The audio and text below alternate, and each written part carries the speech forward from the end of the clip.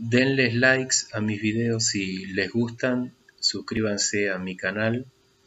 Eh, bueno, quiero hablar de algo que justo acabo de escuchar de dos mujeres que hace un ratito me lo, me lo dijeron, me lo contaron. Cuando en la vida se encuentran dos personas, dos personas que se, que se gustan, que se sienten conectadas, que se atraen, que, que, se observan y comienzan a seducirse y desde un principio todo funciona bien, es como si las personas se conocieran desde antes, quizá desde otra vida. A veces cuando eh, acontece algo así, eh, una de las dos personas, generalmente la mujer, habla con una astróloga, con un tarotista, con un brujo, con un vidente. El vidente le dice, dada la conexión que hay, ustedes son almas gemelas. Ustedes son personas que se tenían que encontrar en esta vida y es un amor karmático y va a durar para toda la vida. Va a ser maravilloso. O también estas conexiones se dan mucho desde lo sexual. O sea, inmediatamente hay piel, hay química entre las dos personas. Entonces el sexo empieza a funcionar de manera fantástica, todo es maravilloso. Y esta conexión inicial, que es a lo que yo me voy a referir, propicia el enamoramiento pero no necesariamente se trata de amor. Cuidado. O sea, que dos personas se encuentren en la vida en un momento determinado, en un tiempo, no es casualidad. O sea, está claro que si tú te encuentras con alguien en la vida y vives un romance, un enamoramiento, un amorío, una amistad con derechos, una amistad simplemente, una relación solo sexual o un amor grande, profundo y formas una familia, estás con la persona toda la vida, o estás 10 años, o 20, o 30, o lo que sea, todo es karmático, porque tú te tenías que encontrar con esa persona, la persona tiene algo para darte en la vida, algo para enseñarte, y tú también tienes algo para darle. Se aprende de todo. Alguno dirá Rodrigo, pero en definitiva, ¿cuál es la enseñanza del universo? Si yo me, encontré con un hombre, sentí química, sentí conexión, sentí que era algo maravilloso y solamente este hombre quería coger. Es que hay un aprendizaje en todo, hasta en eso. Hasta en eso. Por ejemplo, ¿cuál podría ser el aprendizaje en eso? Que no hay que autoengañarse con ilusiones o con fantasías o con relatos karmáticos de amores que son por siempre. Cuidado, puede que sí, sea por siempre, puede que no, mi canal ayuda a la persona a empoderarse, a pensar, no a creer todo inmediatamente. El que ve este video no tiene por qué creer en mí. No tiene por qué creer en nada de lo que vea en este canal. Tiene que dudar, tiene que pensar. Porque solamente así la persona va a salir adelante, va a aprender sobre su propio karma. Karma no es castigo, es aprendizaje como varias veces digo.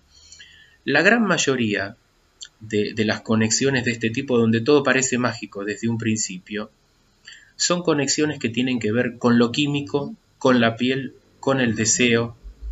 Y por supuesto que no estoy diciendo que se agotan en eso. ¿eh? Algunas prosperan y se transforman en amor. Otras en un enamoramiento que dura un tiempo y luego se rompe la relación. Pero no confundan esa magia, esa maravilla, la química, el contacto sexual, la piel, el, parecer que se entienden desde, desde, no sé, mil vidas anteriores, eh, el parecer que se reconocen. O sea, es todo un fenómeno que tiene que ver con el enamoramiento, con lo químico, con la magia, y le da paso a la primera etapa de una relación, que es el enamoramiento. que es el enamoramiento? La fascinación, la magia. Tú a la otra persona la ves fantástica, maravillosa, no ves los defectos de la otra persona, no ves el lado B o el lado oscuro, ves la luz nada más. ¿Por qué? Porque tú estás viendo maravillado a la otra persona a través de los ojos del enamoramiento y la otra persona lo mismo, te ve a ti fantástico.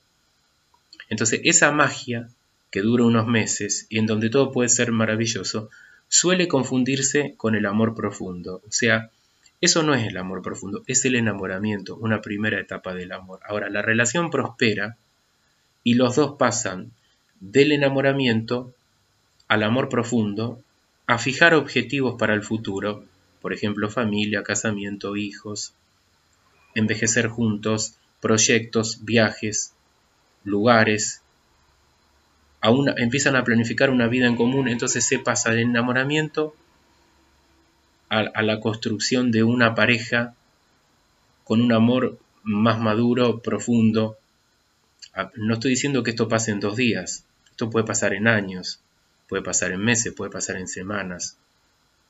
El problema es que si una de las dos personas habla de todo esto que digo yo y la otra persona solamente funciona en el nivel del enamoramiento y solo supongamos quiere sexo, tenemos dos energías distintas, dos niveles de conciencia distintos y nunca van a encajar. Hay que tener más o menos el mismo nivel de, conciencia, de energía, eh, el mismo, por lo menos el mismo nivel de amor, de proyecto en común. Entonces suele mucha gente confundir esa conexión inicial y toda la magia del enamoramiento que viene o de la pasión que viene en los primeros tiempos con el amor para toda la vida y, y es el prólogo a veces de relaciones hermosas que sí duran toda la vida, pero en la mayoría de los casos es el prólogo de una gran decepción. Al menos lo que, es lo que yo veo en mi trabajo. Personas eh, como las dos chicas ¿no? con las que hablé hoy, no me refiero especialmente a la chica argentina, que no digo su nombre, no estoy hablando de ella, ¿eh? estoy hablando de una chica colombiana, que me dijo, Rodrigo, lo conocí a él, todo fue fantástico, maravilloso, como si nos conociéramos desde siempre, el mejor sexo que tuve en mi vida, Estábamos juntos todo el día, casi 24 horas a partir del primero o segundo día. Claro, una relación fantástica se ve. Pero a veces hay que entender que esa magia del enamoramiento, si no hay un algo más, un nivel de conexión más profundo, un diálogo, un espacio para cada uno, porque estas dos personas desde las primeras 24 horas convivieron todos los días, se agotaron, se invadieron los espacios. O sea, si no hay un algo más profundo, que, el uno sienta por el otro y el otro por el uno, se va a agotar con la pasión esta relación, que fue lo que pasó. Entonces la chica me dice, Rodrigo, no entiendo nada. Yo sé que yo no creo en ninguna brujería, ok, sé que no hay ninguna brujería, fantástico.